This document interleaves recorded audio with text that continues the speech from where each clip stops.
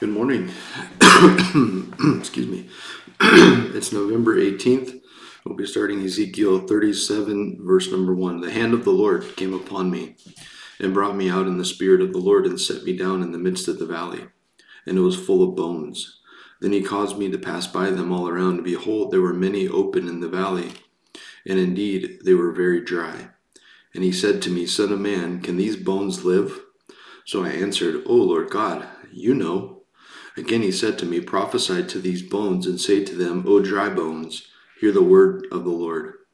Thus says the Lord God to these bones Surely I will cause breath to enter into you, and you shall live.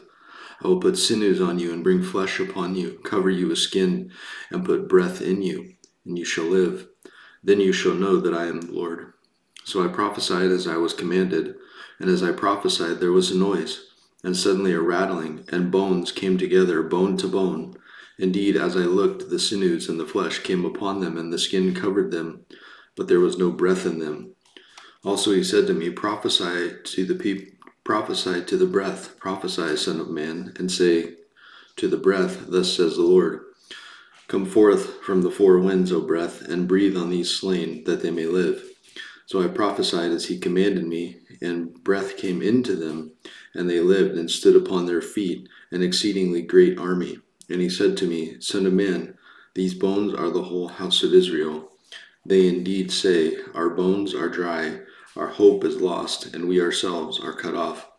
Therefore prophesy and say to them, Thus says the Lord God, Behold, O my people, I will open your graves and cause you to come upon your graves and bring you into the land of Israel. Then you shall know that I am the Lord when I have opened your graves and, O my people, and brought you up from your graves. I will put my spirit in you, and you shall live, and I will place you in your own land. Then you shall know that I, the Lord, have spoken it and performed it, says the Lord. Again, the word of the Lord came to me, saying, As for you, son of man, take a stick for yourself and write on it, for Judah and for the children of Israel, his companions. Then take another stick and write on it, for Joseph, the stick of Ephraim, and for all the house of Israel, his companions. Then join them one to another for yourself into one stick, and they will become one in your hand. And when the children of your people will speak to you, saying, Will you not show us what you mean by these? Say to them, Thus says the Lord God Surely I will take a stick of Joseph, which is in the hand of Ephraim, and the tribes of Israel, his companions, and I will join them with it, and the stick of Judah, and will make them one stick, and they will be in one be one in my hand, and the stick on which you write will be in your hand before their eyes. Then say to them, Thus says the Lord God, Surely I will take the children of Israel from among the nations, wherever they have gone, and will gather them from every side and bring them into their own land, and I will make them one nation in the land on the mountains of Israel. One king shall be king over them, and they shall no longer be two nations, nor shall they ever be divided into two kingdoms again. They shall not defile themselves any more with their idols, nor with their detestable things, nor with any of their transgressions, but I will deliver them from all their dwelling places in which they have sinned, and will cleanse them. Then they shall be my people, and I will be their God. David my servant shall be king over them, and they shall also have one shepherd. They shall also walk in my statutes and observe my statutes and do them. Then they shall dwell in the land that I have given to Jacob my servant, where your fathers dwell, and they shall dwell there, they, they and their children and their children's children forever. And my servant David shall be their prince forever. Moreover, I will make a covenant of peace with them, and there shall be an everlasting covenant with them. I will establish them and multiply them, and I will set my sanctuary in the midst forever. My tabernacle also will be with them. Indeed, I will be their God, and they shall be my people. The nations also will know that I, the Lord, sanctify Israel when my sanctuary is in their midst forevermore. Chapter 38 Now the word of the Lord came to me, saying, Son of man, set your face against Gog, the land of Magog, the prince of Rosh, Meshech, and Tubal, and prophesy against him, and say, Thus says the Lord God, Behold, I am against you, O Gog, the prince of Rosh Meshech, and Tubal. I will turn you around, put hooks in your jaws, and lead you out. with all your army, horses and horsemen, all splendidly clothed, a great company with bucklers and shields, all of them handling swords. Persia, Ethiopia, and Libya are with them, all of them with shield and helmet, Gomer and all its troops, the house of Togarmah from far north, and all its troops. Many people are with you.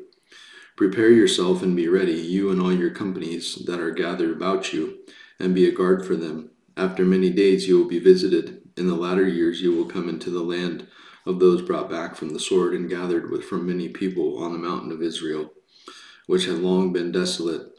They were brought out of the nations, and now all of them dwell safely. You will ascend, coming like a storm, covering the land like a cloud, you and all your troops, and many peoples with you. Thus says the Lord God On that day it shall come to pass that thoughts will arise in your mind, and you will make an evil plan.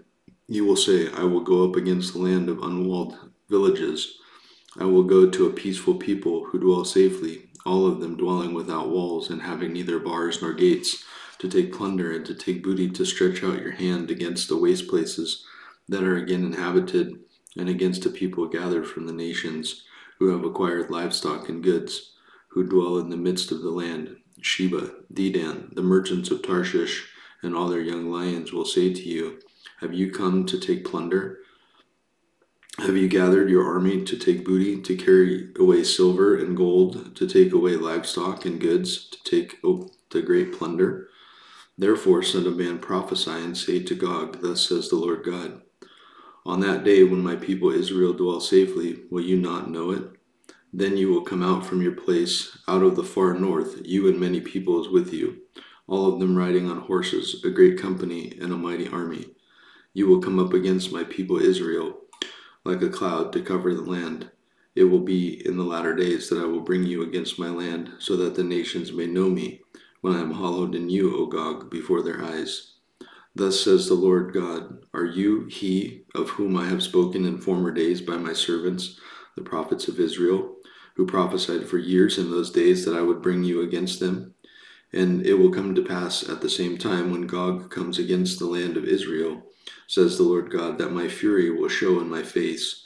For in my jealousy and in the fire of my wrath I have spoken. Surely in that day there shall be a great earthquake in the land of Israel, so that the fish of the sea and the birds of the heavens, the beasts of the field, all creeping things that creep on the earth, and all men who are on the face of the earth shall shake at my presence. The mountains shall be thrown down, the steep places shall fall, and every wall shall fall to the ground. I will call for a sword against Gog throughout all my mountains, says the Lord God. Every man's sword will be against his brother, and I will bring him to judgment with, pestil- with pestilence and bloodshed. I will rain down on him, on his troops, and on the many peoples who are with him, flooding rain, great hailstones, fire, and brimstone. Thus I will magnify, magnify, my, magnify myself and sanctify myself, and I will be known in the eyes of many nations. Then they shall know that I am the Lord. James chapter 1, verse 19. So then, my beloved brethren, let every man be swift to hear, slow to speak, slow to wrath. For the wrath of man does not produce the righteousness of God. Therefore, lay aside all filthiness and overflow of wickedness, and receive with meekness the implanted word, which is able to save your souls. But be doers of the word, and not hearers only, deceiving yourselves. For if anyone is a hearer of the word and not a doer, he is like a man observing his natural face in a mirror. For he observes himself, goes away, and immediately forgets what kind of man he was. But he who looks into the perfect law of liberty and continues in it, and is not a forgetful hearer, but a doer of the work, this one will be blessed in what he does. If anyone among you thinks he is religious and does not bridle his tongue, but deceives his own heart, this one religion is useless. Pure and undefiled religion before God and the Father is this to visit orphans and widows in their trouble, and to keep oneself unspotted from the world. My brethren, do not hold the faith of our Lord Jesus Christ, the Lord of glory, with partiality. For there for if there should come into your assembly a man with gold rings and fine apparel, and there should also come in a poor man in filthy clothes, and you pay attention to the one wearing the fine clothes, and say to him, You sit here in a good place, and say to the poor man, You stand there, or sit here at my footstool, have you not shown partiality among yourselves and become judges with evil thoughts? Listen, my beloved brethren, has God not chosen the poor of this world to be rich in faith and heirs of the kingdom which he promised to those who love him? Do you have but you have dishonored the poor man? Do not the rich oppress you and drag you into courts? Do they not blaspheme that noble name by which you are called? If you really fulfill the royal law according to the scripture, you shall love your neighbor as yourself. You do well. But if you show partiality, you commit sin and are convicted by the law as transgressors. For whoever shall keep the whole law and yet stumble in one point, he is guilty of all. For he who said, Do not commit adultery, also said, Do not murder. Now, if you do not commit adultery, but you do murder, you have become a transgressor of the law. So speak, and so do as those who will be judged by the law of liberty. For judgment is without mercy to the one who has shown no mercy. Mercy triumphs over judgment.